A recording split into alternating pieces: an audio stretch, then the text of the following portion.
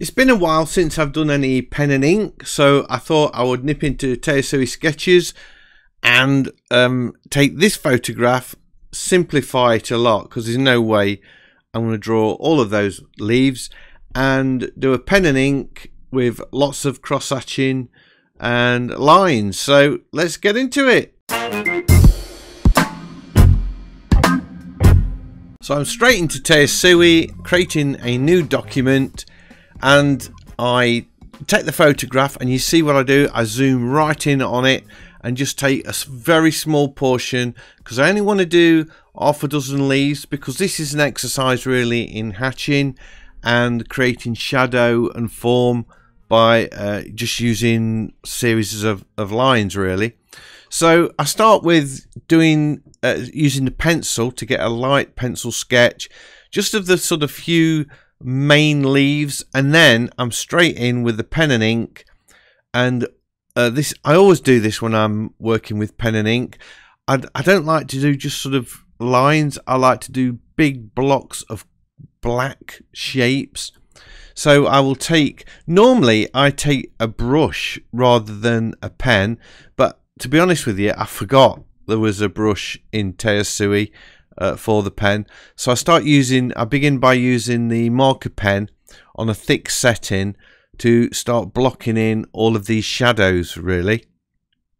If I was doing this in um, a traditional style with a pen and ink, I would be using a white ink as well to put some fine lines on this because you will see later on that I'm drawing with a uh, an eraser I guess really to draw in um, or lift out the black. While if I was doing it traditionally, I would use a white pen. So I start off with an idea of, uh, I get in the black shapes and then I start putting detail in by some of the uh, vertical lines on the bark and then I put those veins in the leaf and I thought to myself, you know what, that's not right because the actual, in the photograph, the veins are, are white. So I decide to hatch the whole of the leaf first and then um, put the veins in after by using the eraser to lift out the lines. So that's what I was talking about uh, when I said I'd be using a white pen. I would put those veins in with a white pen if I was doing this traditional. So no way am I cheating here. I don't think I am by uh, using the eraser. And you can see I can get uh, really dark shadows by etching lines very close together and here we go. I start putting in uh, those veins. So I'm using the eraser there just set quite uh, thin razor. And I also use it to put some vines around that um, trunk as well.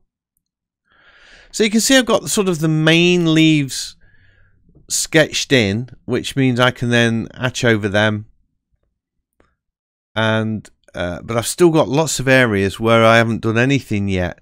And you, you can see I'm getting a sort of a, a vertical shape for my composition.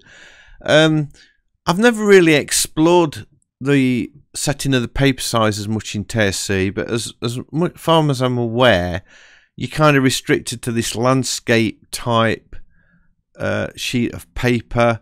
Whereas if you're using something like Procreate or ArtRage or pretty much any other app, you can uh, change it to portrait. So if anybody knows a way without me going into the menu, because I'm a bit lazy, I just like to use app, pick up, pick an app up and use it. If there's no way of creating a landscape in Tayasui, you can put that in the comments and let me know. That'd be appreciated. And you can see I'm sort of developing this sort of vertical shape just by um, creating a, a barrier, I suppose, really, where I just don't go beyond that shape. Uh, the last time I did this, I actually sketched in a rectangle and, and then erased a lot. But this time I'm actually working within that boundaries to start with because I know that's what I want to do. At this point, I decide that the etching on that leaf is too, uh, the lines are too close together and too thin and it's too defined. And I want to um, create thicker lines and uh, a bit more more of a statement really. You notice I've switched to the brush now. I've discovered that there is a brush in Tayasui and I'm using that instead of the uh, marker pen and you get much nicer lines they kind of flow much better than they do with a marker pen. And by using hatching I am creating lots of uh, shade under those leaves. And you, you could argue that I'm not following the form of the leaf because it's sort of um, the lines are so sometimes are going off at a 45 degree angle across the whole of the leaf. But uh, I think I am really. If you look at the sort of central leaf in the middle I've got those horizontal line uh, those diagonal lines but they are there is a slight curve of them because that's sort of representing a shadow on the leaf and that is a curve on the leaf. And I have kind of tried to do that although I'm not sort of um, following every contour and bump on the leaf. I am loosely staying within the shape. And you can see now I'm adding uh, more detail or more leaves as I'm going I'm feeling as I'm getting into the sketch. This always happens when I haven't done anything for a while. I haven't done any pen and ink for a while. I sort of start off a little bit gingerly and sort of um, take care with what I'm doing, and then by the time I'm sort of 10, 15 minutes into it, I totally up the pace and go a lot quicker. And the, I think the brush strokes uh, come across as being a lot more confident and put down quickly because I am actually painting or sketch I should say sketching sketching a lot faster uh, than I was initially because I've sort of I know where I'm going now and I'm sort of um, got confidence with the action and um, getting back into it again. Uh, continually swapping between the eraser the uh, fine line not the marker pen, the uh, inking pen, sorry, the fine line inking pen, and the um, brush. So if I said earlier I was using a marker pen, I wasn't. I was using the fine line uh, inking pen, but had it quite thick, which kind of turns it into a marker, I suppose. And you can see I'm going in really dark with some of these shadows on this uh, trunk now because I, I kind of want to get the the impression that there's light uh, on the trunk and on sort of the central leaves, and everything else is thrown into shadow. You'll even notice that when I've drawn in the veins in odd places, I've actually etched back over them to th sort of throw them back into shadow. So that's a nice tip that, um, you know, if you lift something out like these veins I'm putting in now, you could hatch over them again. I don't know if I do on this one. I probably won't now I've said that. No, moving on. And I'm kind of filling in all those little areas of, of, of white. I've just hatched over them. I've not sort of filled them in sharp, but sort of uh, just um, gone over them lightly. And here I thought it would be quite nice to put a white outline around one or two of the leaves. So I start doing that. I thought it added a little bit more form. I thought it was all getting a little bit lost.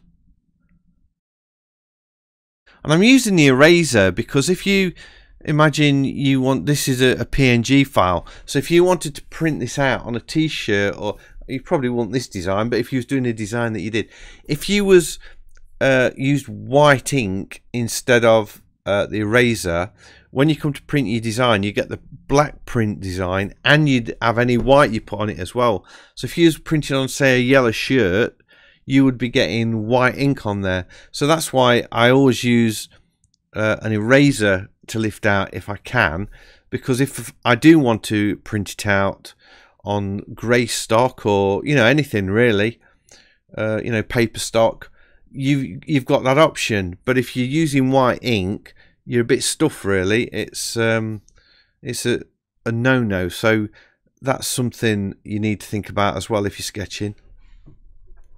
And you can see I'm matching over some of those uh, white out outlines that I put on earlier. I've sort of etched on them to just throw them back into the shadows a little bit. And you can see now it's really taking shape where I've got all the shadow on the left hand side. The main leaves sort of highlighted and now the leaves that are sort of to the right and behind the tree trunk. I'm just sort of shading them in as well to throw them back slightly. I made up a few of those leaves as well. I got sort of fed up of trying to copy everything and just started to put in a few ideas of my own really. So we're getting sort of close to finishing.